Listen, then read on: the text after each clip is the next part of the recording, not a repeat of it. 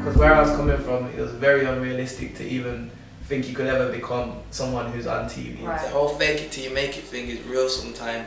I'm at Rated Awards, I'm chilling with Chip, I'm chilling with Skepta. When it's night time, they're going back to the houses, I'm going back to the Sidemen to sleep on the sofa. Don't procrastinate. The worst thing people do is procrastinate. It's The most difficult time in my career. You haven't had any, have you? There's more than five things that people have sat down, had meetings with me and said, is mine. And if they happen, I would right now be a millionaire. Don't get disheartened and don't take everything with a pinch of salt. At that time, I was literally fresh out of uni. It was my first TV show. So I feel like there's certain things that I could have been doing as well. Same Real. thing. You gotta do what you gotta do until you can do what you wanna do. I like fully live by this. Hard work beats talent when talent doesn't work hard.